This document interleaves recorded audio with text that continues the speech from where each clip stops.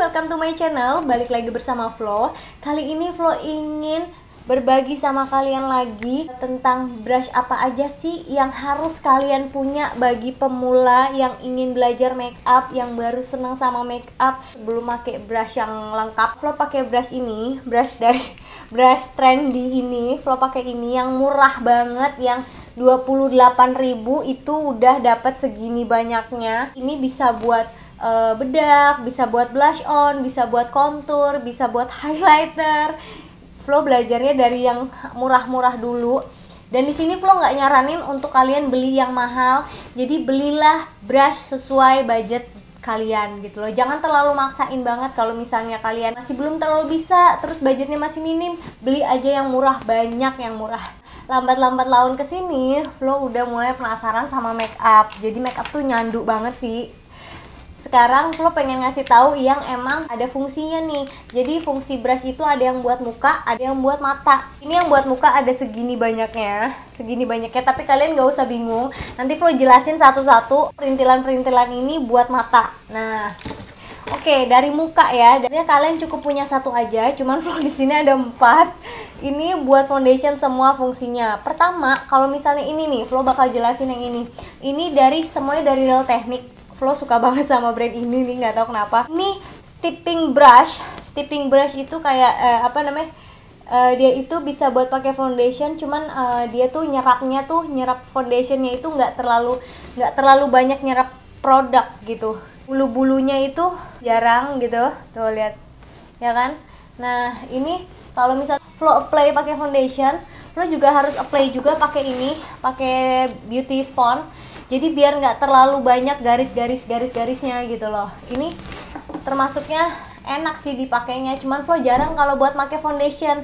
Ini Flo seringan pakai buat blush on. Jadi kayak buat tul tul tul tul tul tul nggak terlalu kegedean kan kalau pakai blush on. Yang ini juga bisa buat foundation ini uh, expert face brush. Dan ini agak ini ya agak apa sih namanya? Agak padat agak uh, apa namanya padat banget bulu-bulunya lembut banget. Bisa buat foundation uh, tapi dia ini kayak agak agak flawless aja gitu kayak agak tipis foundationnya. Ini buat foundation juga. Apply-nya itu uh, agak ngebiar gitu tuh tuh. Kalau yang tadi kan kayaknya tuh padat banget kan kalau yang ini kayak agak padat. Nah kalau yang ini tuh kayak agak ngebiar gitu tuh. Ini bisa buat powder juga bisa tapi Flo keseringan ini buat pakai powder gitu. Ini buat cream contour karena ini angle-nya tuh angle-nya kan ini ini ya apa sih namanya miring ya.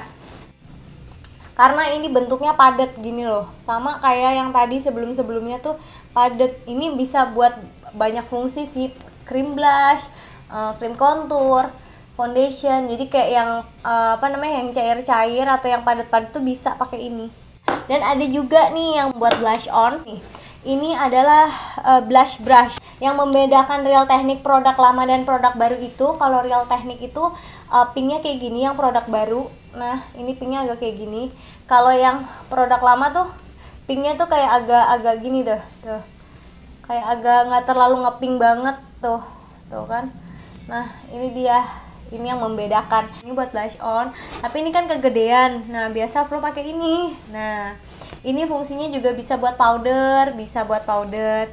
Ini bisa buat ngapus bakingan bawahnya bisa. And ada lagi buat muka. Ini adalah kabuki brush. Ini lembut banget sih asli parah lembut banget tuh lihat deh.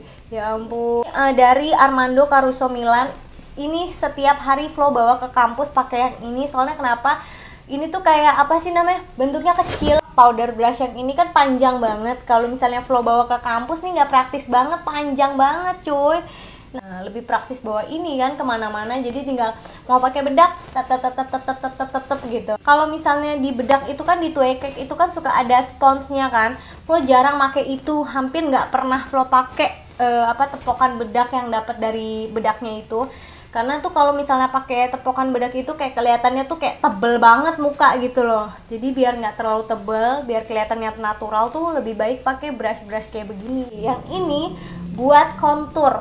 Yang ini buat kontur powder. Jadi misalnya kontur ini bisa namanya kontur brush.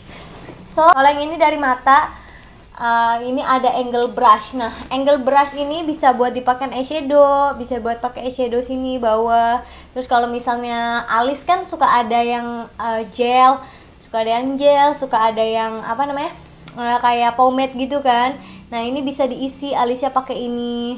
Terus bikin uh, gradiasi gradiasi alis. Terus favorit lo nih, ini namanya nah nih base shadow brush. Tuh ini buat ngeblend. Kalau kita udah pakein di auto corner warnanya, terus kita bisa ngeblend biar nggak terlalu ngeblok banget. Ini sering Flo pakai di video sebelumnya. Satu lagi, ini ada dari Armando Caruso Milan nomor 19 uh, ini tuh kayak misalnya buat eyeshadow juga jadi pakai di auto corner pakai buat di crease-nya gitu. Nah itu buat di sini jadi buat di apa namanya di blendingnya tuh enak gitu. Flo beli ini satuan harganya 85.000 kalau nggak salah nggak sampai 100.000 nah ada lagi yang buat alis juga. Ini buat alis. Jadi kayak misalnya ini sepula dari Masami Shuko dari Masami Shuko nomor ya 315 Nah, ini tuh hmm, kalau misalnya tuh buat nyapu-nyapu alis, nyapu-nyapu alis. Terus kayak misalnya udah pakai maskara, maskaranya masih kayak agak dempet-dempet, kita sapuin aja pakai ini bisa. Ada lagi nih aksen brush. Aksen brush ini bisa buat di uh, inner corner bisa, terus buat dipakein sini bisa di bawah mata nih, di bawah mata pakein uh, eyeshadow bawah mata. Pointed foundation brush. Di sini bisa ngerapihin eyeshadow yang berantakan di sampingnya bisa. Terus bisa dipakein buat apa namanya di bawah mata sini uh, apa foundation bisa. Alis juga bisa pakai ini. Nah bisa dirapihinnya juga bisa pakai ini juga. Ini ada yang namanya uh, the Tyler brush ini brushnya kecil kayak begini. Dan ini tuh kayak apa sih namanya? Misalnya kita punya lipstick yang udah habis gitu ya. Nah kan udah masih ada tapi masih ada di dalam. Nah kita tinggal pakai brush ini aja. Jadi dicolek-colek gini dipakein di sini. Jadinya tuh kayak apa sih namanya? Uh, lebih rapih kalau pakai brush kayak begini nih. Tuh. And ini adalah brush untuk ngeblend. Sebenarnya ini untuk ngeblend tapi ini kegedean banget sih ya ini ngeblend di sini sering juga Flo pakai Nah, ini namanya Dulux Crease Brush. Jadi kalau misalnya di crease itu udah ada warnanya, biar eh, nggak uh, terlalu semangat banget pakai eyeshadownya.